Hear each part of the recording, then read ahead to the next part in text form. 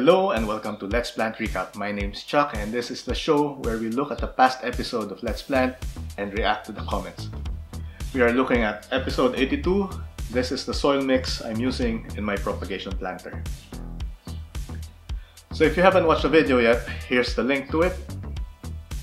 So to summarize that episode, it was basically me placing soil inside the planter and it was lots of work. So on to the comments. First one is from Monolop.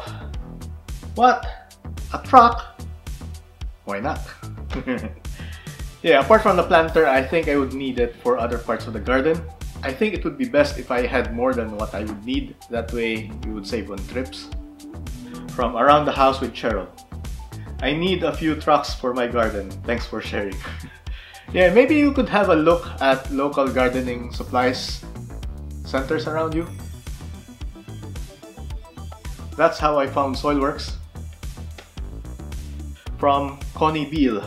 This is probably a stupid question, but I thought succulents have a low root system, so why is your planter box so deep? This is a very good question, a very valid question, not, not stupid at all. You're exactly right that they have a shallow root system, but in this case, this is more of a... The reason is quite silly. The main, the main reason is that I just don't like bending down, so I built it really high. And the other reason is that I would like to create smaller planters next to it or around it, maybe create a terrace. So I'm going to start with something tall, then gradually build smaller ones around it. So yeah, starting with something tall. From She's Lupe. Propagation videos. My favorite. Great video. It made me tired just looking at you shovel all of that. It turned out great though. yeah, I it took me a few days, even close to a week, to get everything out of my driveway. I could show you right after this video. I'm in the garage and I'll just lift the door after this.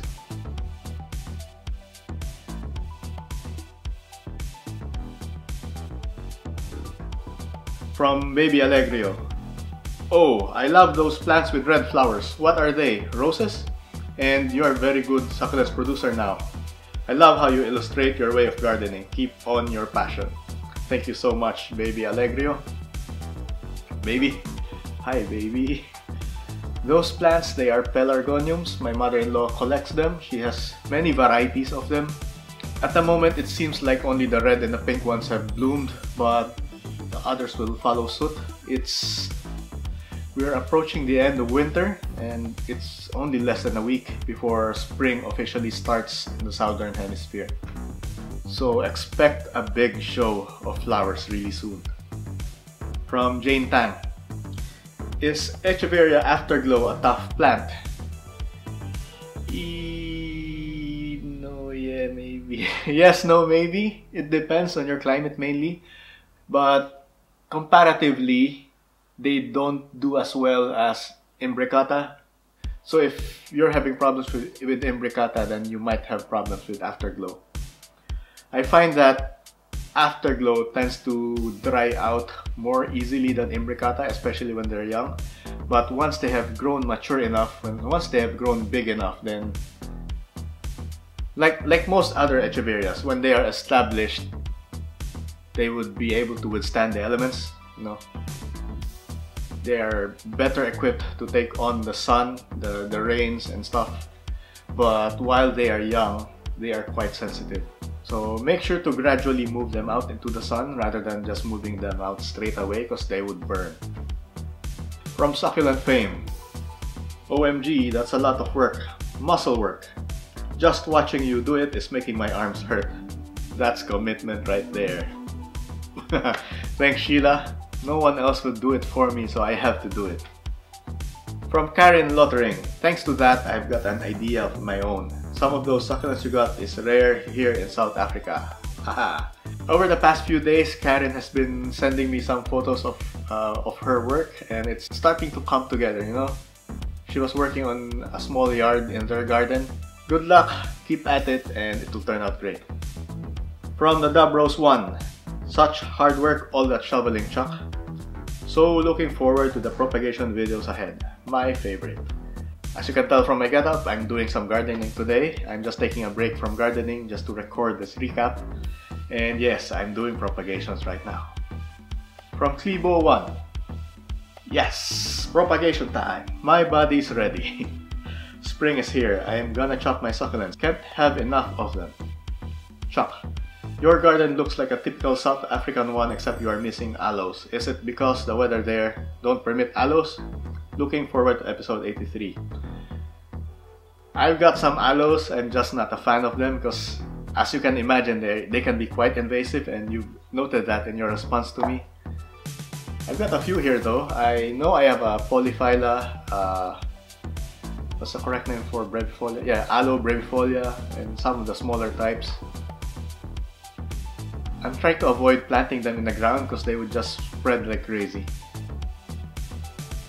From In Him Sexta 7, 7 sevens. Finally, this is what I've been waiting for. Although it's a bit anticlimactic, I say that.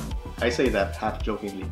So many people like to make soil mix a complicated affair. I suppose it may be more fun for certain types of people that way.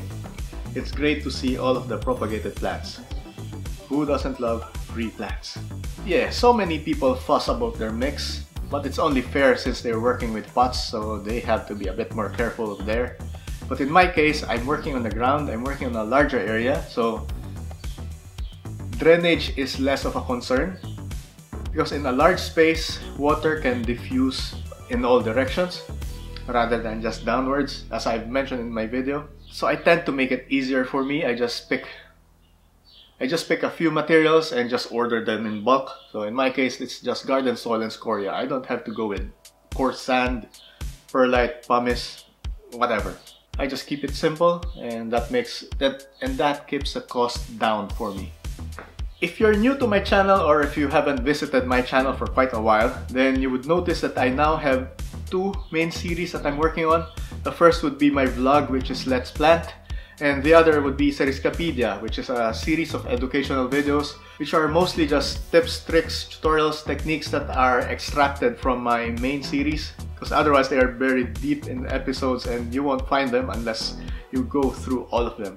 So if you're like most people who just need a quick reference, then Cerriscapedia is for you. And like the recap, which is the companion show for Let's Plant, I'm also coming out with Cerriscapedia marginalia. Marginalia meaning these are the notes, the little notes that you scribble or doodle onto the margins of a page of a book.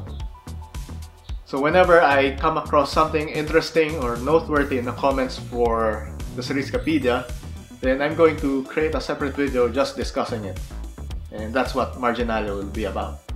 Thank you for watching another recap. Make sure to subscribe to my channel and hit that notification bell. That way you won't miss out on next episodes.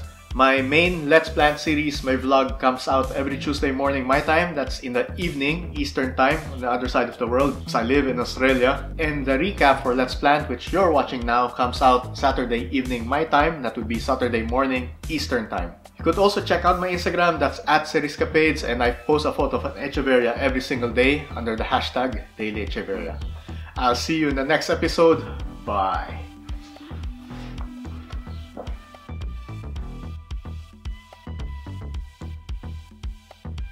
Next up would be harvesting this Petrosidum fosterianum. This is better known in Australia as gold mound and in some areas as Angelina. They are quite dense here now and some of them are even climbing up the wall.